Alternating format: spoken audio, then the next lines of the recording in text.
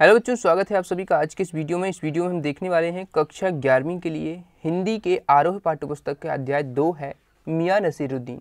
इस चैप्टर के महत्वपूर्ण वस्तुनिष्ठ प्रश्नोत्तर। क्वेश्चन भी हैं, साथ में आंसर भी। तो ये आपकी सभी परीक्षाओं के लिए, चाहे वो तिमाही छमाही या वार्षिक परीक्षा, सभी के लिए इंपॉर्टेंट होते हैं। एन e के हैं, ठीक है? तो इस चैप्टर के सेकेंड चैप्टर के आज हम देखने वाले हैं। इससे पहले चैप्टर फ़र्स्ट के ऑलरेडी अपलोड कर दिए गए हैं, आप चैनल प्लेलिस्ट पर जाके देख सकते हैं। ठीक है? तो किस प्रकार से आपको देखना है, मैं आपको बता देता हूँ। सबसे पहले आपको YouTube खोल लेना है, यहाँ पर में सर्च करना है जानकारी टीच ठीक है? ये सर्च करेंगे तो आप चैनल आ जाएगा। चैनल को आपको क्लिक करना है और यहाँ पर प्लेलिस्ट सेक्शन में आके यहाँ पर सबसे पहली प्लेलिस्ट यहाँ पर मिल जाएगी आपको क्लास एलेवंथ हिंदी 2021 22 आर ठीक है? तो इस प्लेलिस्ट में आपको सभी चैप्टर के जितने भी डलते जाएँगे, सभी इसमें जोड़ दिए जाएँगे चैप्टर्स के इंपॉर्टेंट क्वेश्चन ऑब्जेक्टिव क्वेश्चन तो इस प्रकार से इसमें ये वीडियो भी जोड़ देंगे। तो पिछला वीडियो उससे देख सकते हैं आप, ठीक है? तो इस प्रकार से आप इसको देख लीजिए। जो भी चैप्टर्स आपके आपने नहीं देखे हैं, जो भी डल चुके हैं, उसको आप ज़रूर देख लीजिए। ठीक है? इसी प्रकार से आपको क्रम वाइज हम आपको इंपॉर्टेंट क्वेश्चन आंसर प्रोवाइड करा करा देंगे। तो सभी आपके कंप्लीट हो जाएँगे। तो आज हम अध्याय दो लेकर आए हैं, ग्यारहवीं का। तो सबसे पहला क्वेश्चन यहाँ पर दिया गया है, सही विकल्प का चयन करें। ठीक है तो फ़र्स्ट क्वेश्चन है, सही विकल्प का चयन करें। यहाँ पर जो पहला क्वेश्चन दिया गया है, मियाँ नसीरुद्दीन किस विधा की रचना है? तो देख सकते हैं यहाँ पर ऑप्शन आपको चार दिए गए हैं। ऑप्शन को आपको पढ़ना है और आंसर यदि आप जानते हैं कमेंट में ज़रूर लिखें, क्योंकि आप लिखेंगे तो आपको याद हो जाएगा। ठीक है तो मियाँ नसीरुद्दीन किस विधा की रचना है? तो ये संसरणात्मक रेखा चित्र ठीक है तो इसका गा वाला ऑप्शन राइट आंसर हो जाएगा। ठीक है? मैं फिर बोलूँगा, जिन बच्चों को आंसर पता है, कमेंट में ज़रूर लिखें। दूसरा क्वेश्चन है, लेखिका मियाँ नसीरुद्दीन के पास किस हैसियत से गई थी? तो लेखिका इसकी कौन है? कृष्णा सोबती, मियाँ नसीरुद्दीन, जो पाठ है आपका, ठीक है? क्योंकि लेखक और लेखिका जो होते हैं पाठ के, वो आपको याद करने ही चाहिए। ऑब्जेक्टिव क्वेश्चन आपके बन जाते हैं कभी कभी इनसे। ठीक है तो लेखिका मियाँ नसीरुद्दीन के पास पत्रकार की हैसियत से गई थी। तो इसमें का वाला ऑप्शन राइट हो जाएगा। ठीक है?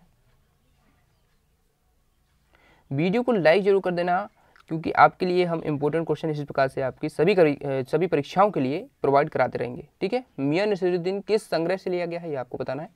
तो इसमें देखिए, मियाँ नसीरुद्दीन जो है, कृष्णा सोबती द्वारा रचित हम हसमत संग्रह से लिया गया है। तो इसका का वाला ऑप्शन राइट आंसर हो जाएगा, ठीक है? आंसर नीचे लिखे हुए भी हैं तो देख सकते हैं आप इसको। फोर्थ है। मियाँ नसीरुद्दीन कितने किस्म की रोटी बनाने के लिए मशहूर थे? तो देखिए, वो छप्पन किस्म की रोटी बनाने के लिए मशहूर थे। देखिए, इसमें हमने ऑब्जेक्टिव क्वेश्चन किस प्रकार से करे हैं? जो ऑब्जेक्टिव क्वेश्चन है आपके, इसमें सही विकल्प भी हैं, सही जोड़ियाँ हैं, रिक्त स्थान है, एक शब्द या वाक्य में उत्तर है। ठीक है? क्वेश्चन नंबर फिफ्थ है। मियाँ नसीरुद्दीन के लेखक कौन हैं? तो जैसा कि मैंने आपको अभी बताया, कृष्णा सोबती इसके लेखिका हैं। ठीक है? तो खा वाला इसका राइट आंसर हो जाएगा। अगला क्वेश्चन है क्वेश्चन नंबर सिक्स है, मियाँ नसीरुद्दीन के वालिद किस नाम से मशहूर थे? तो इसका हो जाएगा ऑप्शन का, बरकत शाही नान भाई गढ़िया वाले। ठीक है तो इसका का ऑप्शन राइट आंसर हो जाएगा? अगला क्वेश्चन है क्वेश्चन नंबर सेवेंथ मियाँ नसीरुद्दीन ने किस्म किस्म की रोटी बनाने का इल्म किस से सीखा? तो देखिए, इसका ऑप्शन आप पढ़िए, खाला जान से पालिद उस्ताद से, खड़ी साज से, मीना साज से। तो इसका हो जाएगा राइट आंसर खा वाला ऑप्शन बालिद उस्ताद से। अगला क्वेश्चन देखते हैं क्वेश्चन नंबर एट है। मियाँ नसीरुद्दीन संस्मरण में लेखिका ने किस बादशाह का नाम लिया है? तो बहादुर शाह ज़फ़र का लिया है, ठीक है? तो इसका खा वाला ऑप्शन राइट आंसर हो जाएगा। क्वेश्चन नंबर आठ है। मियाँ नसीरुद्दीन किसे निठल्ला समझते हैं? तो अखबार बनाने वाले को और अखबार पढ़ने वाले दोनों को ही वो निठल्ला समझते हैं, जिनके पास कोई काम नहीं है, ठीक है? क्वेश्चन नंबर टेंथ है आप, जो कि आपका सही विकल्प का लास्ट क्वेश्चन है, उसके बाद हम रिक्त स्थान देखेंगे। मियाँ नसरुद्दीन ने किस रोटी को पापड़ से ज़्यादा महीन बताया है? तो तुनकी इसका राइट आंसर हो जाएगा, ठीक है? तुनकी, खा वाला ऑप्शन राइट हो जाएगा। अब हम देखते हैं रिक्त स्थान। क्वेश्चन नंबर सेकंड है, रिक्त स्थानों की पूर्ति करें। फ़र्स्ट है, मियाँ नसरुद्दीन ने खालिस्तान के कंचे हम पर फेर दिए हैं। तो यहाँ पर आँखों के कंचे आ जाएगा। ठीक है? अगला है हमारे वालिद मशहूर थे मियाँ बरकत शाही नानबाई खालिस्तान के नाम से। तो जैसा कि आप सब जानते हैं, मियाँ बरकत शाही नानबाई गढ़ैया वाले। तो यहाँ पर आप गढ़ैया वाले लेंगे। ठीक है? ठीक है, यहाँ पर ढा हो जाएगा। ठीक है? गढ़ैया ऐसा। इस प्रकार से आपको लिखना है।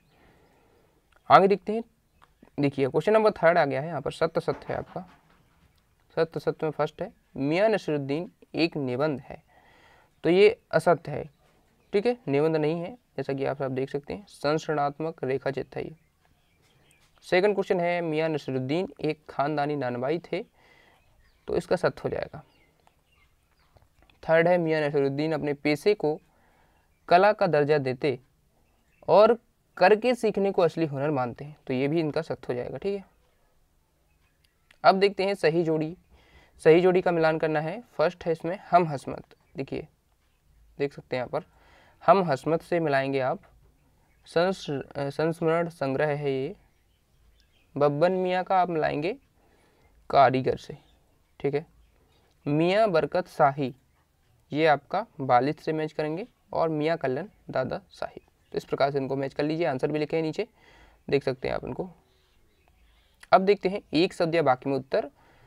इस चैप्टर के जो भी बन सकते हैं। मियाँ नसरुद्दीन की दुकान कहाँ स्थित थी? वेरी वेरी इंपॉर्टेंट क्वेश्चन है ये।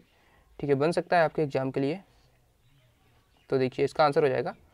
मटिया महल के गड़ैया मोहल्ले में। ठीक है? उसके बाद देखते हैं, अगला क्वेश्चन है, मियाँ नसरुद्दीन ने किस्म किस्म की रोटी बनाने का इल्म किससे हासिल किया था? तो अपने वालिद मियाँ बरकत शाही से। ठीक है?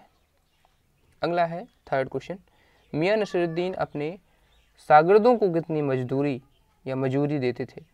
तो दो रुपये मन आटे की और चार रुपये मन मैदा की, ठीक है? इस प्रकार से आपके सभी क्वेश्चन कंप्लीट हो गए हैं इस चैप्टर के ऑब्जेक्टिव क्वेश्चन अब देखिए, इसका यदि आप पीडीएफ डाउनलोड करना चाहते हैं तो पीडीएफ के लिए आप हमारे टेलीग्राम चैनल को ज्वाइन कर लें।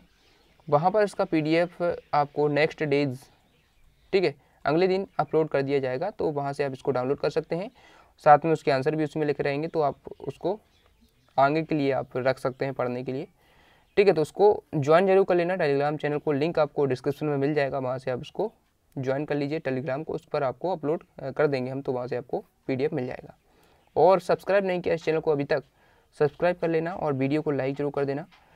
ऐसे ही वीडियोस पाने के लिए बेल आइकन को प्रेस करके रखना और आल बटन को सेट करके रखना, ताकि सभी वीडियोस आप तक पहुँचते रहें। Thanks for watching